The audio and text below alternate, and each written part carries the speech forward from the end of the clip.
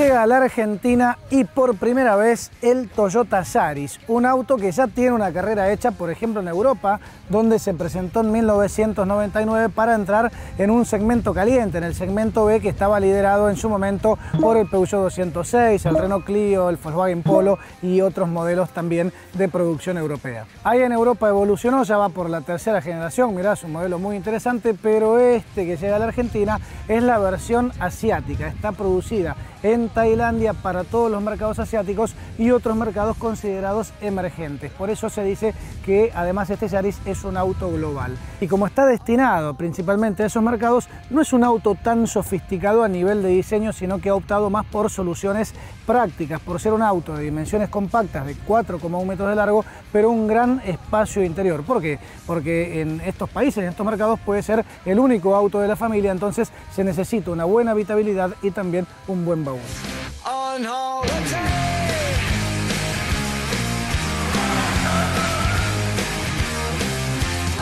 Y acá la Argentina llega para posicionarse en la gama Toyota entre el Etios, que es la entrada de gama de la marca, y el Corolla, que ya es un modelo mediano. Pero de todas maneras, aunque en precio están más cerca del Corolla, en tamaño están más cerca del Etios. La gran diferencia es que eh, mientras el Etios podría considerarse el patito feo de Toyota sin que nadie se ofenda, este es un auto que ya tiene un diseño mucho más agradable, que lo podemos ver acá en la trompa, con esta parrilla con la B invertida que está siendo muy utilizada por los Toyota de última generación y un remate trasero muchísimo más agradable.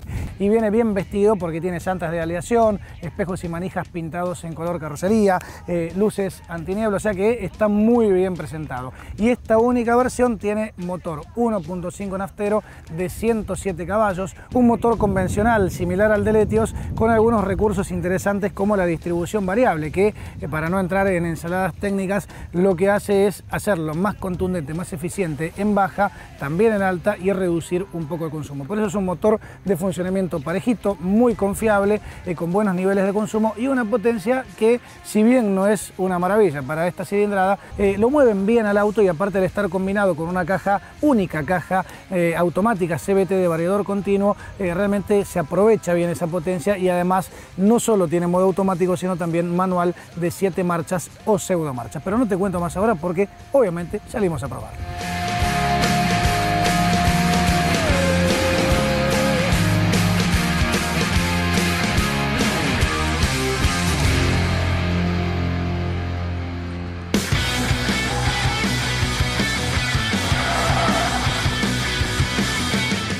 Hacer unas pruebitas de aceleración, le corto el aire acondicionado, no le saco el control de tracción porque no tiene, así que acelerador a fondo, suelto y vamos. No patina, la fuerza se la traga toda la caja, no la transmite a las ruedas. Y fíjate que esta caja CBT de variador continuo fija el régimen de giro, lo mantiene ahí en 6.000 vueltas. El motor va girando a fondo siempre y paulatinamente, gradualmente va subiendo la velocidad. Este es el efecto de la caja CBT, una caja que patina todo el tiempo si se quiere y va administrando la potencia gradualmente.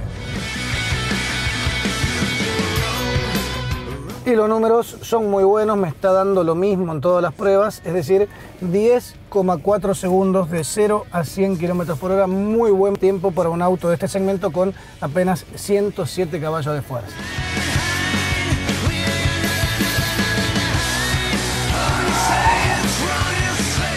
Al volante el Charis es muy similar al Etio, son prácticamente las mismas sensaciones de manejo, es decir, un auto compacto, muy liviano, muy ágil en la ciudad, eh, buena dirección, asistida eléctricamente y con un confort de marcha más que interesante. Por lo tanto creo que es un auto ideal para ir y volver al trabajo todos los días, para usarlo así eh, rutinariamente y por supuesto la caja automática suma aún mayor confort.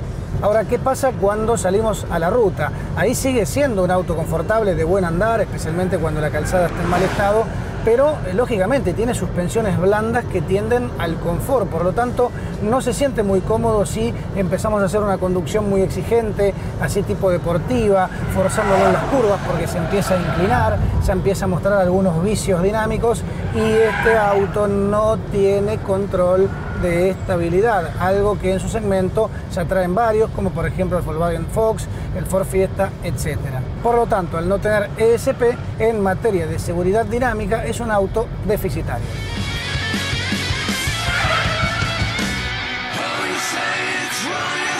Para hablar un poquito más de esta caja de la CBT, siempre prioriza ir a bajas vueltas, no se la escucha patinar, no está ese efecto Pointer, como le digo yo, pasándola acá a la corredera de la izquierda, la podemos manejar manualmente. Y lo interesante que tiene en esta función manual es que los cambios no se pasan solos. Yo, por ejemplo, hacia ahora voy, no sé, ponele en sexta, ¿no? A 80 kilómetros por hora, es una marcha alta. Si yo piso a fondo en otras cajas me estaría rebajando uno, dos o tres cambios. Acá no, me respeta la sexta y fíjate, va acelerando de a poquito, sin patinamientos, o sea que la respuesta y el sonido, lo que se siente, es casi casi como una caja verdaderamente manual. Así que muy buena esta CBT con dos opciones.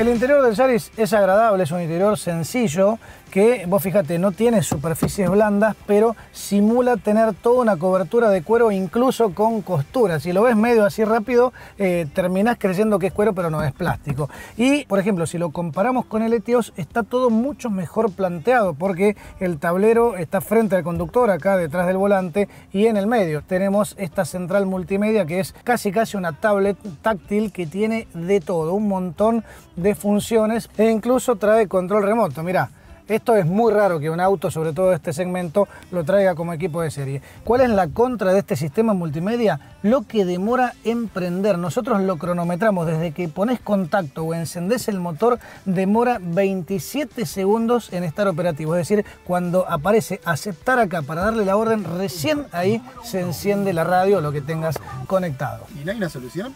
No, no encontramos solución, pero la verdad que puedes aprovechar ese tiempo. ¿Qué podemos hacer?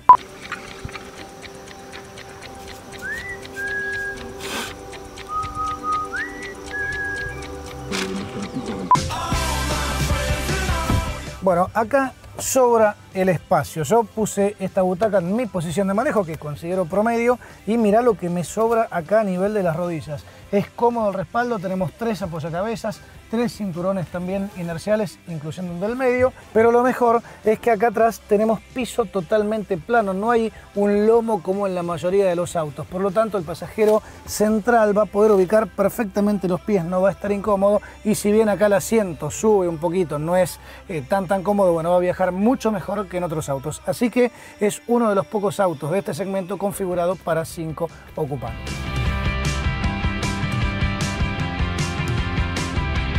Antes de terminar la nota, repasamos un poquito la seguridad de este Yaris. Obviamente no tiene ese peso, le baja muchos puntos, ya lo dijimos, eh, pero en otros aspectos está bastante bien. Por ejemplo, a nivel frenos, tiene ABS, solamente discos delanteros, pero las distancias de detención fueron muy cortas, 40 metros tan solo para detenerse de 100 kilómetros por hora a cero. Y por supuesto, como indica la ley, tiene doble airbag y hay que destacar la incorporación de ganchos ISOFIX para sillas infantiles. No compensa la falta de SP, pero bueno, destacamos estos equipamientos.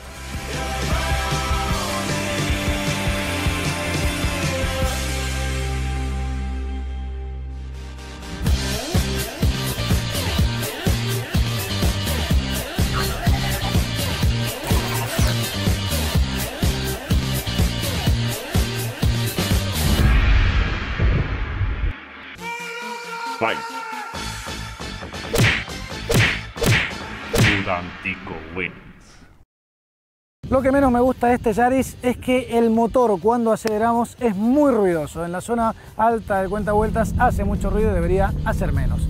A nivel de equipamiento le faltan algunas cosas, no tiene navegador, no tiene tampoco cámara de marcha atrás, que muchos autos de este segmento ya la están incorporando, bueno, no tiene tampoco climatizador automático y algunas cositas más.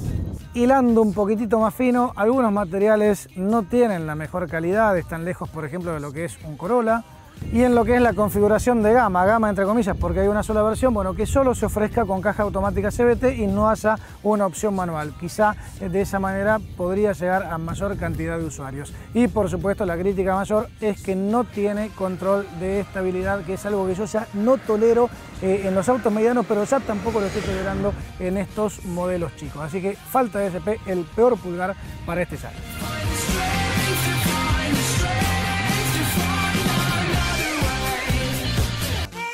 Fight. Toyota Yaris wins. primer pulgar hacia arriba para la agilidad y eh, el agrado de conducción en el tránsito. Es un auto muy, muy agradable en la ciudad. Eh, si bien es convencional, me gusta cómo funciona este motor, qué bien se lleva con la caja y los bajos consumos, también destaco ese aspecto mecánico. El espacio interior, principalmente en las plazas traseras, muy cómodas, con piso plano, buen baúl dentro de todo y debajo del baúl, eh, démosle el premio Auxilio de Oro para el Toyota Yaris con igual neumático e igual llanta de aleación para el auxilio. Destaco también el desempeño de los frenos, distancias bien cortas en las detenciones, y por qué no también darle un pulgar, no demasiado grande, pero destacar sí el diseño que es mucho más lindo que el de Letios y a mí personalmente me parece que está bien equilibradito, bien agradable. Y llegamos al punto más conflictivo de la mayoría de los autos, que es el precio. Y recordad que este Yaris viene de Tailandia, por lo tanto paga un arancel de importación del 35%. Es muy difícil colocarle un valor muy competitivo con semejante carga eh, arancelaria. Y este es finalmente el precio al que le ofrece Toyota en el mercado nacional. Un valor elevado, sobre todo teniendo en cuenta algunos faltantes de equipamiento. Pero bueno, es un Toyota, mucha gente productos de esta marca por la confiabilidad, por la postventa, por las buenas experiencias propias y ajenas y creo que este Yaris no va a ser la excepción. No sé si en gran número, pero va a tener su cuotita de mercado también acá en la Argentina.